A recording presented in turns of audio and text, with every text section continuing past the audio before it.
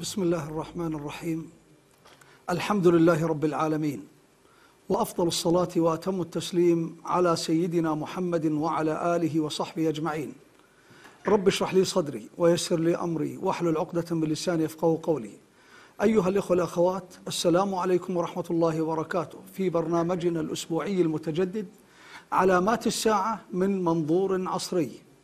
في هذه الحلقة سنتكلم عن مجموعة من علامات الساعة التي أخبرنا عنها النبي صلى الله عليه وسلم. ومن ضمن هذه العلامات كثرة العقوق عقوق الوالدين وتقديم الزوجات والأصدقاء على الآباء والأمهات كما أخبرنا النبي صلى الله عليه وسلم. يقول النبي صلى الله عليه وسلم في حديث إذا فعلت أمتي خمس عشرة خصلة فقد حل بها البلاء. فقد حل بها البلاء البلاء المحن المصائب المصاعب. ذكر منها من ضمن هذه قال وأطاع الرجل زوجته وعق أمه وبر صديقه وجفى أباه. لاحظ العبارات. لما ذكر النبي عليه السلام أطاع الرجل زوجته وطبعا هنا المقصود الطاعة في الحرام وليس الطاعة في الحلال. فإذا أطاعها في الحلال فله أجر ولها أجر. ولكن إذا أطاعها في الحرام فعليه وزر وعليها وزر. ومن هنا النبي صلى الله عليه وسلم يقول في حديث من أطاع امرأته فيما تهوى أي في الحرام كبه الله في النار.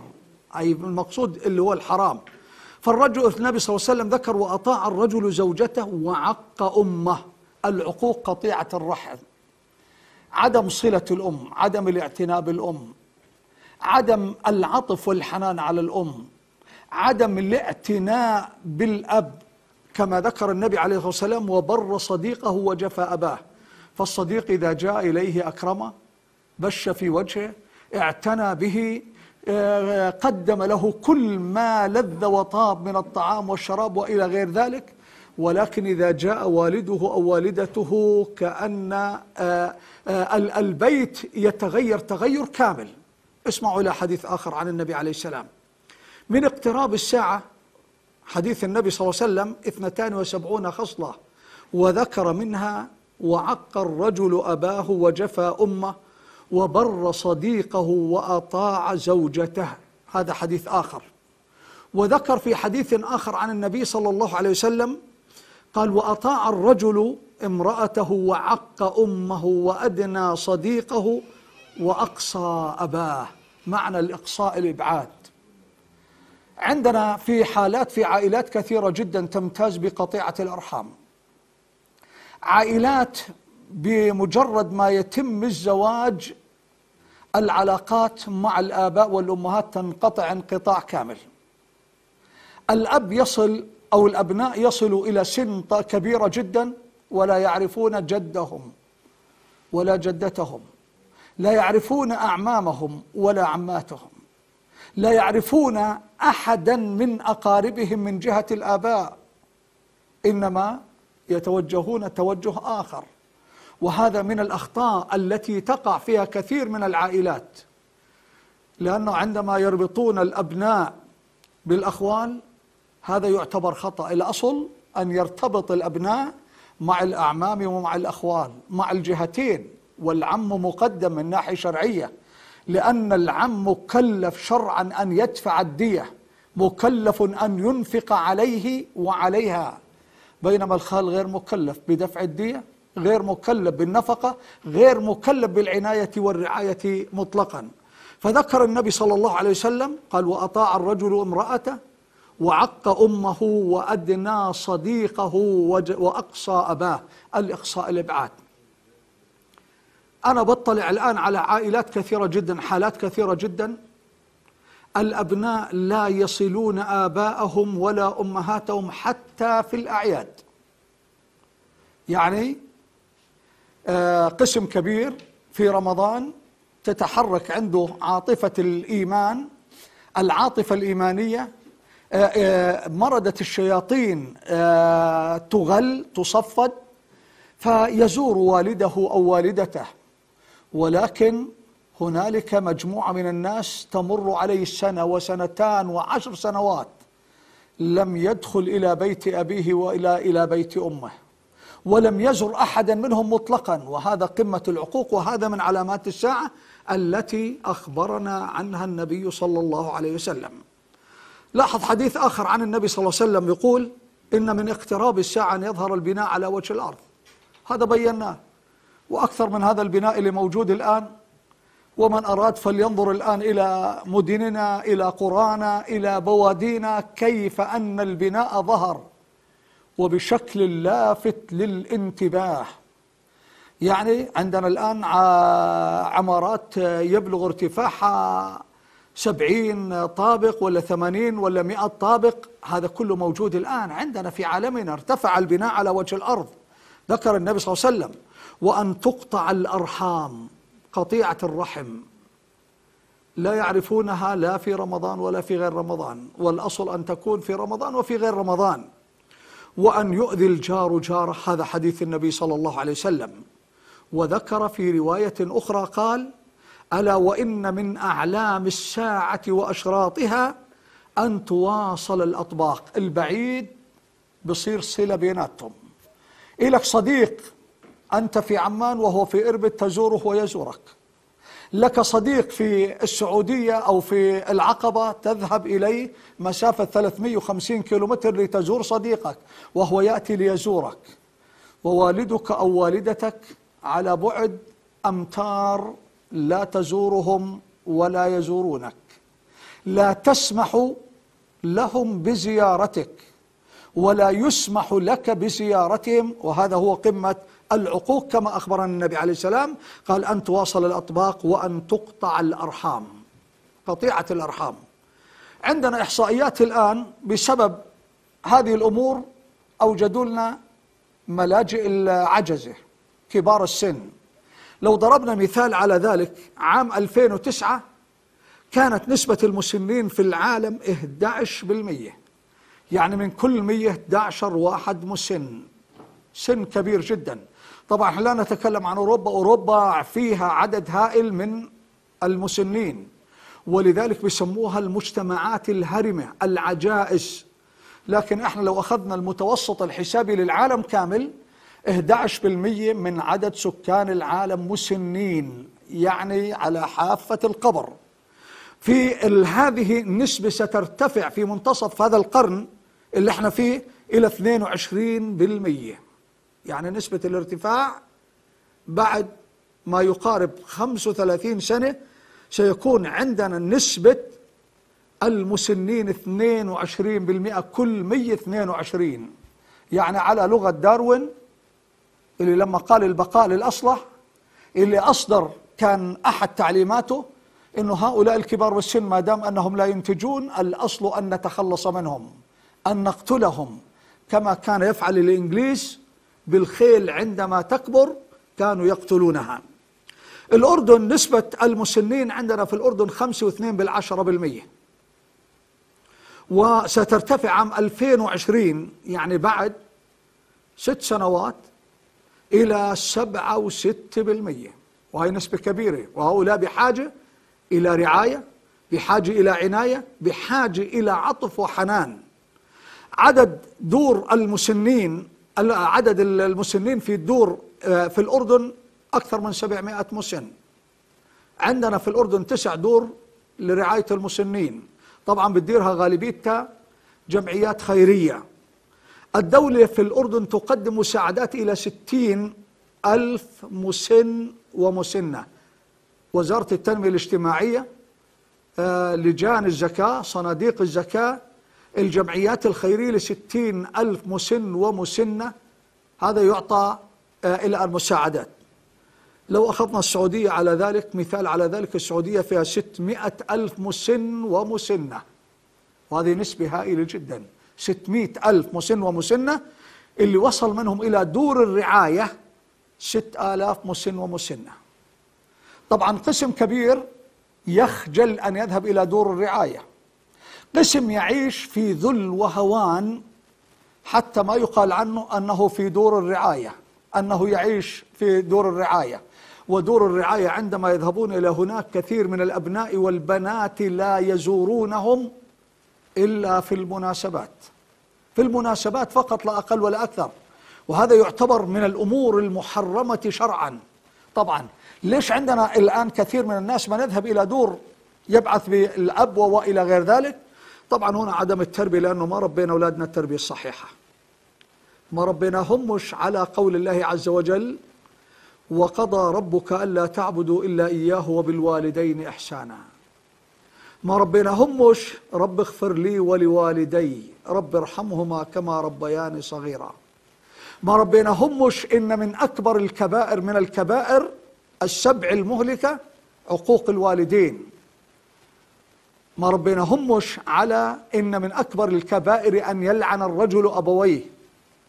فالصحابة استغربوا قالوا وهل يلعن الرجل أبويه؟ قال أن يسب الرجل أبا الرجل فيسب الرجل أباه فيسب أباه ويسب أمه فيسب أمه. إذا عدم وجود التربية تقودنا إلى عدم الاعتناء بالمسنين بكبار السن في مجتمعاتنا الإسلامية. الظروف الاقتصادية في حالات معينة. بعض الظروف الاقتصادية قد تضطر بعض الأبناء إلى أن يغادروا أن يهاجروا آه، فيبقى المسن وحده. ولذلك نلاحظ في حالات كثيرة جدا بعض الآباء والأمهات يموت داخل البيت ولا يعرف عن موته إلا بعد أيام. لأنه ما حد الآن بزوره. ما في حد الآن يقدر يروح لعنده. بجوز بالمناسبات كل أسبوع. وقسم والله لا يستطيع أن يأكل إلا إذا بعث له بلقمة كمخصصات الكلاب. كمخصصات الكلاب. وهذه تعتبر من علامات الساعة التي أخبرنا عنها النبي صلى الله عليه وسلم. أيها الأخوة والأخوات من علامات الساعة التي أخبرنا عنها النبي صلى الله عليه وسلم كثرة القول وقلة العمل. كثرة القول لسان الواحد راديو متحرك ما بيسكرش نهائيا. وقلة العمل عند الصلاة عند قراءة القرآن عند الذكر ما فيش عمل. وإذا قاموا إلى الصلاة قاموا كسالى. فيش حركة ما فيش روح للعبادة. قال لك الآن واعتبار الإيمان قولا باللسان لا أقل ولا أكثر. وراح نبين الآن بعض أحاديث النبي صلى الله عليه وسلم التي تتكلم عن هذا الموضوع. قال صلى الله عليه وسلم من اقتراب الساعة أن ترفع الأشرار وها هم الأشرار قد رفعوا. ها هم الذين يعيشون مع الحركات الماسونية رفعوا. هؤلاء الذين يتعاملون مع الأمريكان الآن في أعلى المراتب. هؤلاء الذين يتعاملون مع السفارات يحكمون ويرسمون. وتؤدى لهم التحيات صباح مساء. هاي الأشرار. الآن الذين يتاجرون بالأعراض ارتفعوا. الذين يرتكبون الحرام بالزنا والسرقة والرشوة الآن ارتفعوا ارتفاع كبير جدا. رفع الأشرار. لاحظ كلمة الأشرار من الشر من الشر آه، أن يرفع الأشرار ويوضع الأخيار. الأخيار إرهابي. الأخيار هذا أصولي متخلف. الأخيار هذا مرتبط بجهة معينة وتوضع الأخيار. اللي بيفهم ولذلك لاحظ الآن في عالمنا العربي والإسلامي عالمنا العربي خاصة. الآن الكفاءات في السجون. الكفاءات المفكرين المبدعين العلماء الآن في السجون. والرقاصين والرقاصات الآن نحن نعرف ماذا يفعلون. الآن قال لك وتوضع الأخيار ويفتح القول لاحظ كلمة الفتح ويفتح القول فتح ثمه. يعني الآن كلام متواصل. ويفتح القول ويحبس العمل. بأذن المغرب ما بيقومش يصلي. بيأذن العشاء ما بيقومش يصلي. بيأذن العصر ما بيقومش يصلي. بيجلس أربع خمس جلسات لا يذكر اسم الله عز وجل. ولكنه يتكلم صباح مساء تنظير تنظير بعد تنظير. يعني عبارة الآن عن شريط مستمر عنده استعداد يتكلم 24 ساعة. لكن وإذا قاموا إلى الصلاة قاموا كسالى. لا يتكلم لا يقوم بعبادة الله عز وجل. هذا كما أخبرنا النبي صلى الله عليه وسلم ويحبس العمل ويقرأ في القول في القوم المثنى ليس فيه أحد ينكرها. قيل وما المثناه قال ما كتب سوى كتاب الله عز وجل. وضحناها في حلقة سابقة. النت الآن يقدم على كل شيء. الفيسبوك الآن بنقعد عليه ساعات متواصلة. الصحف والمجلات المسلسلات عندنا استعداد الآن أن نتكلم أن نجلس ساعات متواصلة وليس عندنا استعداد أن نقرأ آية من كتاب الله عز وجل. وليس عندنا استعداد الآن أن نختم القرآن في الشهر مرة. ولذلك أيها الإخوة والأخوات غدا بإذن الله عز وجل في قناة اليرموك الفضائية هذه القناة التي نحن فيها سيكون يوم اسمه الوقف القرآني من الصباح إلى منتصف الليل. يعني بث مباشر تشجيع للأمة على أن توقف بيت آه، محل تجاري. أي شيء الآن جزء من دخل الإنسان أن يوقفه من أجل تحفيظ القرآن الكريم. لأن القرآن الكريم هو روحنا هو حياتنا هو عزتنا. ونحن بدون القرآن لا نساوي شيء. كما قال عمر بن الخطاب رضي الله تعالى عنه نحن قوم أعزنا الله بالإسلام فإذا ابتغينا العزة بغير الإسلام أذلنا الله. إذا القرآن مهم جدا. وخاصة في عصرنا الحاضر اللي بنلاحظ الآن الحرب على القرآن. لأنهم إذا حاربوا القرآن حاربوا الإسلام حاربوا للرسول صلى الله عليه وسلم حاربوا دين الله عز وجل. حاربوا كل شيء عندنا في هذا هذه الأمة. أيها الإخوة والأخوات إلى فاصل قصير ثم نعود بعد ذلك.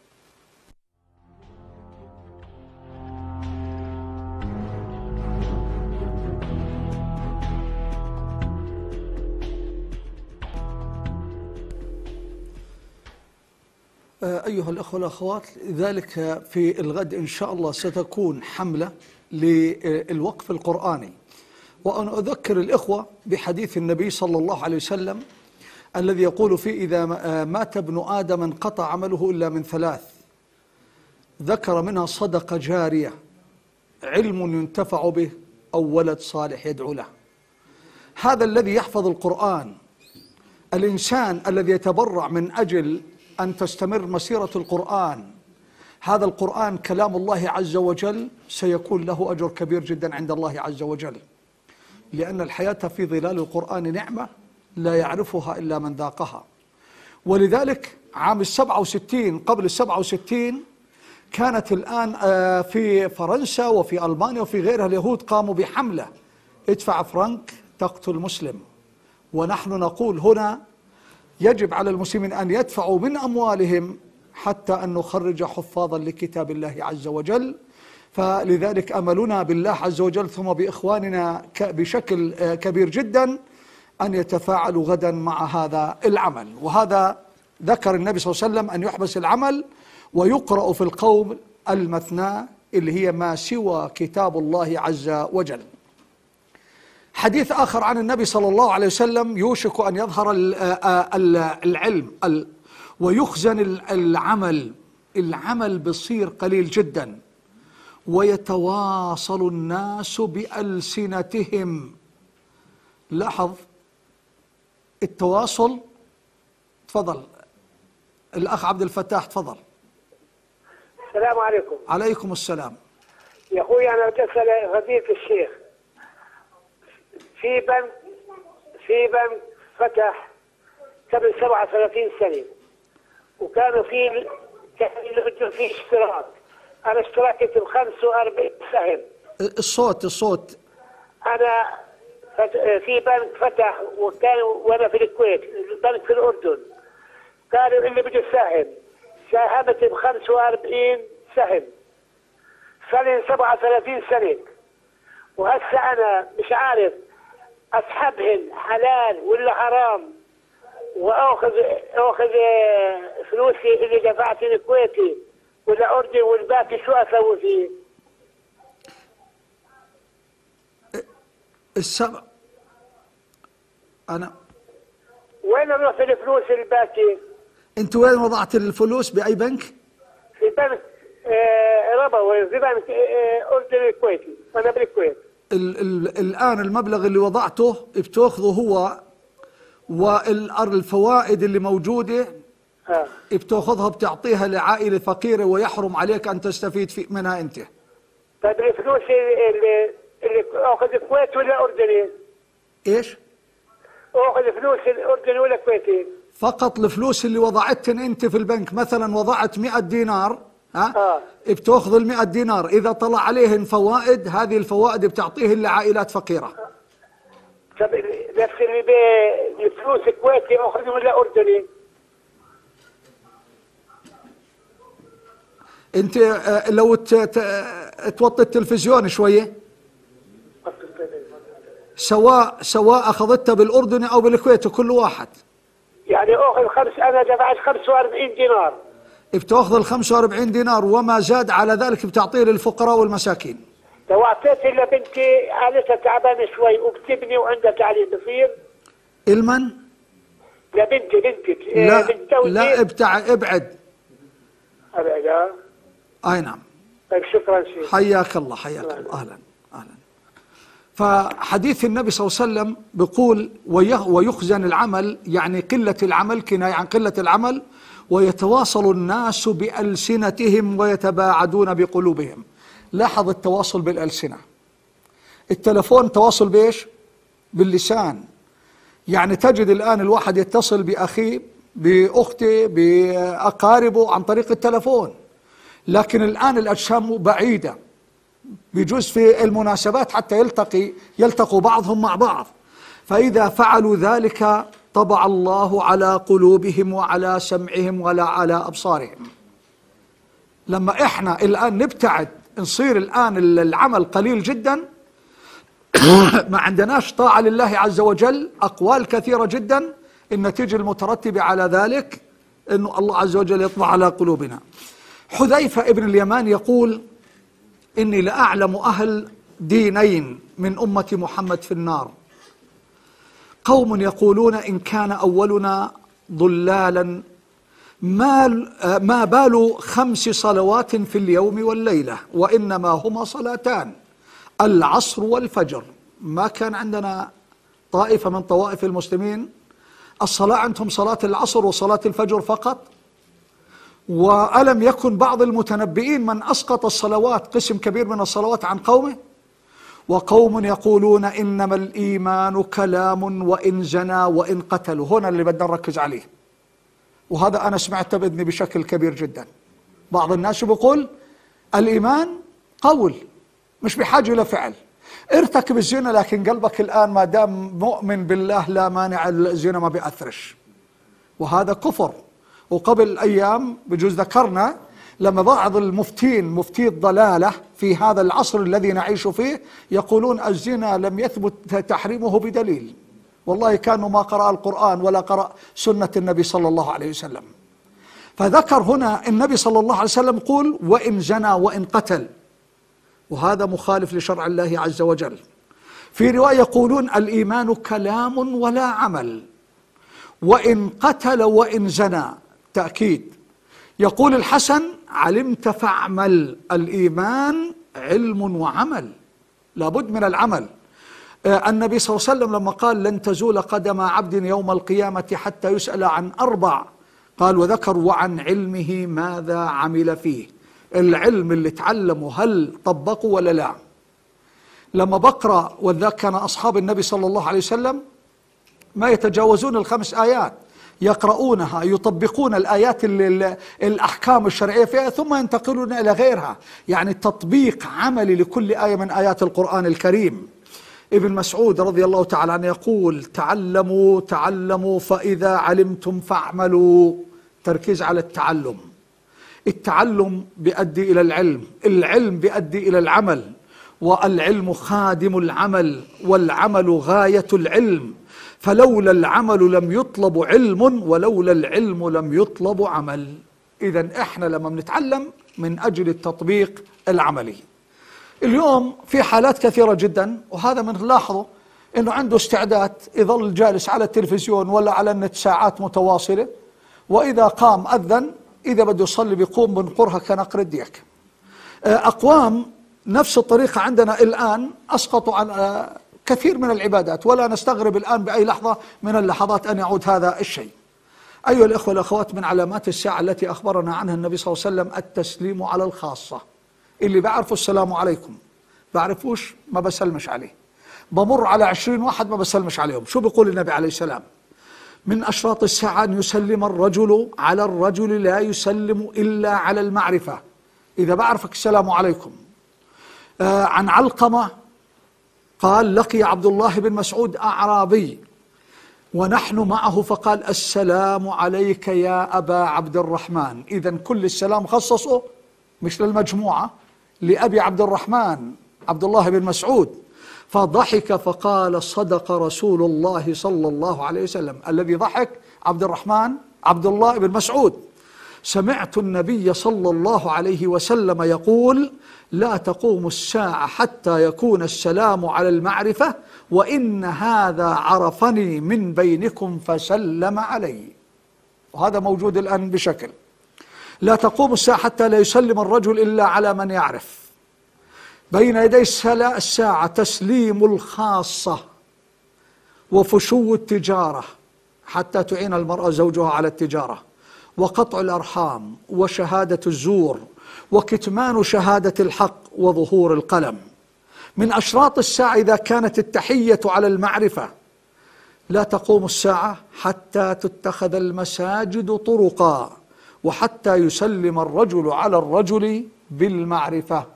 وكما نعلم الإسلام علمنا الأدب أنه إذا لقيت الرجل فاسأله عن اسمه واسم أبيه وبلده. كيف بدي أسأله إذا ما سلمت عليه؟ أنا إذا سلمت على واحد إلي أجر إلي عشر حسنات إلي عشرين إلي ثلاثين حسنة. تصور لو الآن إحنا بنتعامل بالحسنات كل ما لقيت واحد السلام عليكم كم حسنة بتخرج في اليوم الواحد؟ لذلك من علامات الساعة وهذا ما نلاحظه ألا نسلم إلا على من نعرف. من علامات الساعة الاعتداء في الدعاء والطهور. الدعاء إنه نعتدي ما نكونش متواضعين في الدعاء. نعتدي في الطهور الوضوء. مش مرة ولا مرتين ولا خمسة ولا عشرة نغتسل نغسل أدينا. وهذا نوع من أنواع الوسواس. وراح نبين. اسمعوا إلى حديث النبي صلى الله عليه وسلم. سمع عبد الله بن المفضل ابنا له يقول اللهم إني أسألك القصر الأبيض عن يمين الجنة. حدد القصر الأبيض عن يمين الجنة. قال يا بني إذا سألت فاسأل الله الجنة وتعوذ به من النار. فإني سمعت رسول الله صلى الله عليه وسلم يقول يكون في آخر الزمان قوم يعتدون في الدعاء والطهور. وإنه سيكون في هذه الأمة قوم يعتدون في الطهور وفي الدعاء. الدعاء إحنا مطلوب مننا أن ندعو الله عز وجل. والدعاء مخ العبادة. ويجب على المسلم أن يدعو الله عز وجل صباح مساء. وما من مسلم يدعو بدعوة إلا أعطاه الله بها إحدى ثلاث. إما أن يستجيب له وإما أن يدخرها له إلى يوم القيامة وإما أن يدفع عنه من السوء بمثلها. مصيبة. مقرر تقع على رأسك ببركة الدعاء دفع عنك هذه المصيبة. إذا الدعاء مهم جدا. لكن لا نتقعر في الدعاء. لا نبالغ بكلام بعيد. إحنا النبي صلى الله عليه وسلم أمرنا قال إذا سألتم الله فاسألوه الفردوس الأعلى. لما واحد من الصحابة أتى للنبي عليه السلام قال له يا رسول ادعو الله أن أكون معك في الجنة. أسألك مرافقتك في الجنة. قال أو غير ذلك؟ قال لا. يعني هذا طلبي فقط أنا أكون رفيقي لك في الجنة. قال أعني على نفسك بكثرة السجود. بكثرة السجود. لأنه في السجود دعاء أقرب ما يكون العبد إلى الله وهو ساجد. إذا إحنا مطلوب مننا أن ندعو وما أحوجنا في هذه الأيام حيث تكالبت علينا الأعداء الأمم كما تتكالب الأكلة على قصعتها تكالب علينا الشرق والغرب. اللي بيسوى اللي ما بيسوى. الآن اللي ذليل وغير الذليل تكالبوا على هذه الأمة مع عملاء الأمة من الداخل فتكالب علينا الأعداء من الخارج وتلاميذهم من الداخل جميعا. الآن تكالبوا على هذه الأمة فما أحرانا أن نتوجه إلى الله عز وجل أن ندعو الله عز وجل أن يغير حال الأمة. الأمر الثاني الاعتداء في الطهور. الاعتداء في الطهور في قسم عندنا عنده وسواس قهري. وإحنا لاحظنا. في قسم قد يتوضأ عشر مرات. قسم تفضل. هناء الأخت هناء تفضلي السلام عليكم دكتور. عليكم السلام ورحمة الله. يعطيك العافية. الله يعافيك. لو سمحت آه، إحداهن آه، تقول أتمنى أن أكون على زمن عيسى بن مريم عليه السلام. نعم. قالوا لها آه، لا تتمني ذلك لأنه ستكون فتن كثيرة. ما رأيك؟ والله هذا الحديث أنا ما أعتقد إنه صحيح لا لكن ليس حديث ليس حديث لا آه. هي هذه الإنسانة تتمنى آه. يعني أن تكون على عهد عيسى يعني آه. آه، تتمنى أيوه فقال لها آه، يعني ستكون فتن كثيرة فلا تتمني هي ستكون فتن كبيرة جدا جدا لكن حقيقة اللي هم المسيح عليه الصلاة والسلام ومن معه يكون خيار أهل الأرض في ذلك الوقت ولذلك الله عز وجل يوحي إلى عيسى بن مريم أن حرز بعبادي إلى الطور. يعني الدليل على قلة العدد اللي موجودين مع عيسى ابن مريم. وهذا إن شاء الله إحنا سنتكلم في الحلقات القادمة. سنبدأ بالفتن وبالملاحم وعلامات الساعة الكبرى إن شاء الله. بإذن الله. آه خلينا نرجع الآن إلى الوسواس القهري اللي موجود. أنا اطلعت على قسم إجا لعندي بيستفتيني كان يتوضأ عشرين مرة. يتوضأ عشرين مرة. يغسل أديه يشكني ما غسلتنش يتمضمض مرة مرتين ثلاث بعدين يقول لك لا أنا يرجع من جديد. يغسل وجهه يرجع من جديد. وهكذا هذا نوع من أنواع المرض النفسي بحاجة إلى علاج. إذا هنا من علامات الساعة التي أخبرنا عنها النبي عليه السلام. أيها الأخوة والأخوات من علامات الساعة عدم رؤية النبي صلى الله عليه وسلم في المنام وصدق رؤيا المؤمن. رؤيا المؤمن في آخر الزمان ستكون صادقة بإذن الله عز وجل. والآن راح نبين بعض الأمور. شو بيقول النبي عليه السلام؟ والذي نفسي بيدي ليأتين على أحدكم يوم لئن يراني أحب إليه من أهله وماله. يعني لو فضل بين أن يرى النبي عليه السلام وبين أهله وماله لفضل رؤية النبي صلى الله عليه وسلم على أهله وماله. طبعا بسبب المشاكل بسبب الفتن بسبب المصائب التي تنزل على الأمة بسبب الفساد والإفساد بسبب الإشغال. أشغلونا. الآن مطلوب ألا للمسلم ألا يفكر. مطلوب لمجتمعاتنا ألا تفكر. تركض بالليل وبالنهار حتى تحصل لقمة الطعام. لأنه عندنا اليوم اليوم بقرأ عن أحد الحكام اللي موجودين الآن بعدهم لغاية الآن بعد ما مات ستين خلال ثلاثين سنة كل سنة 2 مليار كان يسرق من أموال الأمة. 60 مليار دولار ثروة هذا الرجل.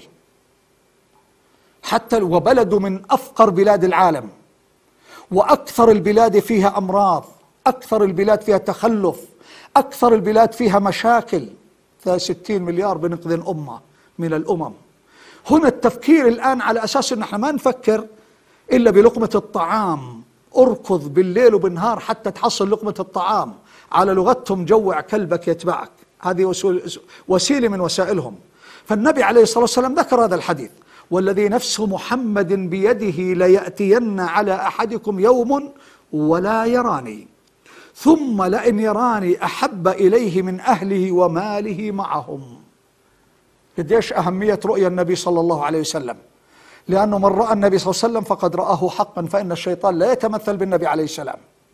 طبعا للعلم أنا أعرف عدد كبير من الناس من رأى النبي صلى الله عليه وسلم في المنام. ورؤيا النبي صلى الله عليه وسلم في المنام جاء يعني موجودة وهذا لا مجال للشك فيها. يقول النبي عليه الصلاة والسلام هذا عن رؤيا المؤمنين ونسأل الله أن نكون منهم لا يبقى بعدي من النبوة شيء إلا المبشرات. قالوا يا رسول الله وما المبشرات؟ قال الرؤيا الصالحة يراها الرجل أو ترى له. أنت ترى رؤيا صالحة أو واحد يرى لك رؤيا صالحة؟ بيشوفك ما شاء الله مجاهد. بشوفك عالم. بشوفك متصدق بشوفك آمر بالمعروف وناهي عن المنكر بشوفك في الكعبة بشوفك في مكان إيجابي إيج... آه مكان خير. هذا الدليل من المبشرات لهذا الإنسان. ويقول النبي صلى الله عليه وسلم إذا اقترب الزمان لم تكد, رؤ... تكد رؤيا المسلم تكذب. وأصدقكم رؤيا أصدقكم حديثا. الصادق بنهاره رؤيا في الليل صادقة. الكذاب رؤيا كاذبة. اللي بوكل حرام رؤيا حرام. لكن الرؤيا الإنسان المسلم الصادق رؤياه تأتي كفلق الصبح. ورؤيا المسلم جزء من خمس وأربعين جزءا من النبوة. والرؤيا ثلاثة. فالرؤيا الصالحة بشرى من الله. ورؤيا تحزين من الشيطان بتشوف لك رؤية حتى الشيطان يحزنك يخوفك يرعبك يبعدك. ورؤيا مما يحدث المرء نفسه فإذا رأى أحدكم ما يكره فليقم وليتفل يعني عن يساره ثلاثا ولا يحدث آه، بها الناس. وأحب القيد في النوم وأكره الغل القيد يعني ثبات الدين. اذا الرؤيا أخبرنا النبي صلى الله عليه وسلم أنها ثلاث. رؤيا من الرحمن وهذه مفرحة للإنسان المسلم ورؤيا من الشيطان يخوفنا مثل ما ذكر يوم أحد الصحابة رأى رأسه يتدحرج أمامه وبركض وراء فأتى سأل النبي عليه السلام قال لا يحدث أحدكم بتلاعب الشيطان به من رأى منكم رؤيا يكرهها فإنما هي من الشيطان فليتفل عن يساره ثلاثا ولا يحدث بها فإنها لا تضره. ورؤيا مما يحدث بها الإنسان نفسه. يعني واحد الآن بحاجة إلى مبلغ من المال قد ما فكر بالليل بيحلم بالفلوس. واحد نام عطشان راح يحلم بإيش؟ بالماء. واحد الآن في عنده مشكلة معينة راح يحلم بهذه المشكلة وهكذا كما أخبرنا النبي صلى الله عليه وسلم. وللعلم حتى الحيوانات والطيور عندنا والأسماك في البحر الكل يحلم ويرى رؤيا. من علامات الساعة شتم الصحابة رضي الله تعالى عنهم وأرضاهم حملة الإسلام. عندنا عدد كبير ممن ينتسبون إلى الإسلام يشتمون أصحاب النبي عليه السلام. ممن يدعون أنهم مسلمين وهم بعيدون كل البعد عن الإسلام وعن المسلمين. يشتمون أبا بكر وعمر وعثمان ويؤلهون علي ويقذفون عائشة رضي الله تعالى عنها ويعارضون القرآن الكريم. هؤلاء عندنا ملايين. ومنهجهم شتيمة أصحاب النبي عليه السلام. حملة القرآن حملة السنة حملة هذا الدين الذين حطموا دولة الكفر. وهذا منهج من مناهجهم يعلمون أبناءهم مع الحليب كيف يكرهون أبا بكر وعمر وعثمان وعلي رضي الله تعالى عنهم. يقول النبي صلى الله عليه وسلم إذا فعلت أمتي خمس عشرة خصلة حل بها البلاء. ذكر آخر شيء ولعن آخر هذه الأمة أولها. هاي الآن إحنا بنسمعهم على الفضائيات لعنة الله عليهم.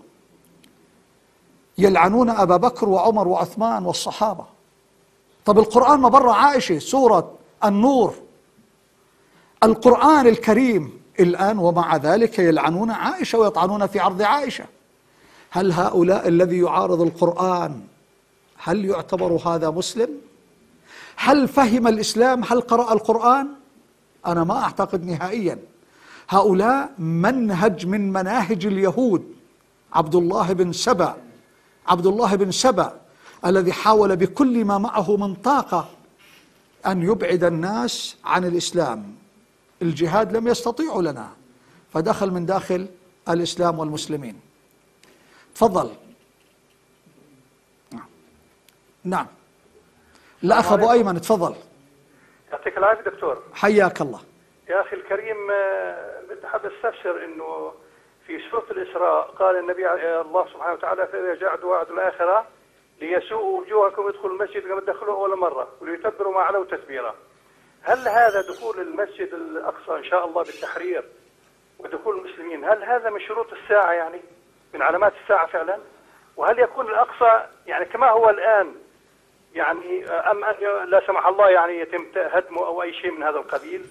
وجزاك الله خيرا على هذا البرنامج الرائع الذي يخدم جميع المسلمين في كافة أنحاء العالم.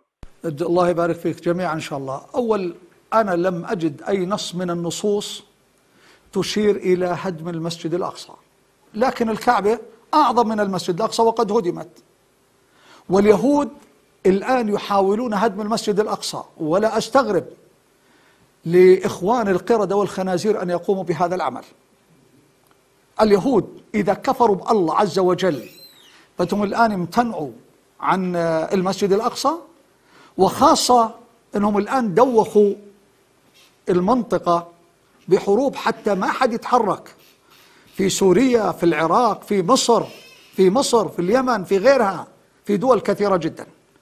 آه، الدكتور وليد العاني رحمه الله كان وهذا عالم من علماء الحديث هذا الرجل كان يقول أن اليهود سيخرجون من المسجد الأقصى أو من فلسطين قبل المهدي وقبل خروج الدجال.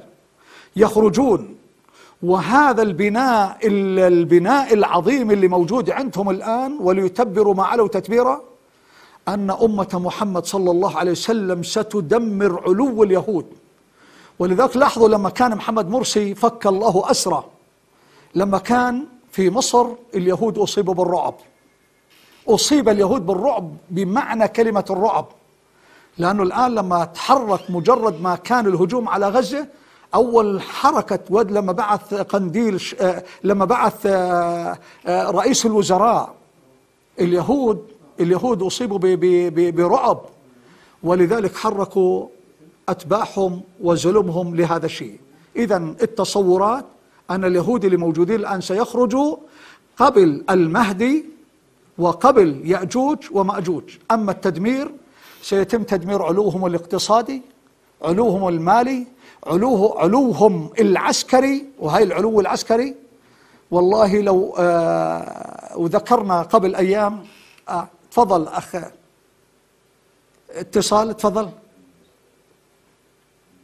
الأخت أم يوسف. السلام عليكم. عليكم السلام. آه شيخ الله يعطيك العافية. الله يعافيك. أسألك أنت قبل شوي حكيت أنه في آخر الزمان يأتي على أمتي أنه آه نرى الرسول صلى الله عليه وسلم في المنام. نعم. فيا شيخ بدي بدي أسألك أنا بنتي عمرها 12 سنة. نعم. آه بنتي قبل يمكن قبل ثلاث شهور آه، صحيت من النوم الصبح قالت لي يا أمي أنا شفت في المنام الرسول صلى الله عليه وسلم وكنت واقفة أنا بغرفة مظلمة. فحكى لي أنت ليش واقفة هون؟ قالت لي كان لابس أخضر وأبيض. فقال لي يا بنتي أنت ليش واقفة هون؟ قالت له أني أنا بستنى أهلي.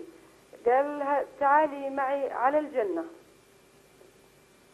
فحكيت له هي طب أنا بستنى أهلي. قالت له قال يا ماما قال لي إنه آه كمان اهلك جيبيهم معاكي. إن شاء الله تكون من أهل الجنة. تعمل تطبق هذا؟ هذا يعني أننا في ظلام يعني بعدنا عن الله في ظلام اتباع سنة النبي صلى الله عليه وسلم طريق من طرق الجنة. أي خلي هذه بنتك الآن تحافظ على سنة النبي عليه السلام لأن المحافظة على ما جاء به النبي عليه السلام طريق الجنة. أنت وبنتك وعائلتكم أسلكوا هذا الطريق لأنها ستؤدي بكم إلى الجنة إن شاء الله. فرؤيا النبي لا تكذب رؤيا النبي صلى الله عليه وسلم. نعم هي قالت إنه الرسول صلى الله عليه وسلم لما حكيت له إني أنا أنتظر أهلي قال لي كمان جيبي أهلك معك على الجنة. الآن يعني ركزوا على سنة النبي صلى الله عليه وسلم. هذه طريق للجنه دائما على سنة نعم. إن شاء الله إن شاء الله. جزاك الله خيرا. جميعا إن شاء الله. إذا هنا في عندنا على أساس اللي هو اليهود سيخرجوا علوهم كله راح إن شاء الله يتحطم بإذن الله عز وجل. آه لعن الله من سب أصحابي. من سب أصحابي فعليه لعنة الله والملائكة والناس أجمعين. إذا جريمة من الجرائم أن نسب أصحاب النبي عليه السلام. أصحاب النبي عليه الصلاة والسلام لهم آه، مكانة عظيمة جدا. هم حملة الوحي. هم الذين نقلوا إلينا هذا الإسلام العظيم. إحنا الآن نقول رضي الله تعالى عنهم. لقد رضي الله عن المؤمنين إذ يبايعونك تحت الشجرة. وكان منهم أبو بكر وعمر وعثمان وعلي. إذا كيف الآن بيجي عندنا مجموعات لا تخشى الله عز وجل وتلعن أصحاب النبي عليه السلام. أيها الأخوة والأخوات من علامات الساعة الإقبال على الحرث يعني أن نقدم الحرث على الجهاد في سبيل الله. إحنا مطلوب أن نركز على الزراعة. لكن إذا تعارضت الزراعة مع الجهاد نقدم الجهاد. يعني بمعنى إذا نادى منادي الجهاد يا خيل الله اركبي. بدنا نركز الآن على الجهاد. لا تقوم الساعة حتى ترجع حراثين وحتى يعمد الرجل إلى النبطية فيتزوجه على معيشته. ويترك بنت عمه لا ينظر إليها. وهذا وضحناه الآن كلنا بدنا نروح نتجوز أمريكانيات مشان الإقامة. ها مشان الإقامة. آه حديث آخر. إذا تبايعتم بالعينة وأخذتم أذناب البقر ورضيتم بالزرع وتركتم الجهاد. لاحظ التركيز أنه رضينا بالزرع على حساب الجهاد لكن إحنا بحاجة أن نكون أقوياء اقتصاديا زراعيا صناعيا تجاريا. سلط الله عليكم ذلا لا يرفعه عنكم حتى ترجعوا إلى دينكم. أيها الإخوة الأخوات إلى لقائنا القادم نستودعكم الله عز وجل الذي لا تضيع ودائعه. والسلام عليكم ورحمة الله وبركاته.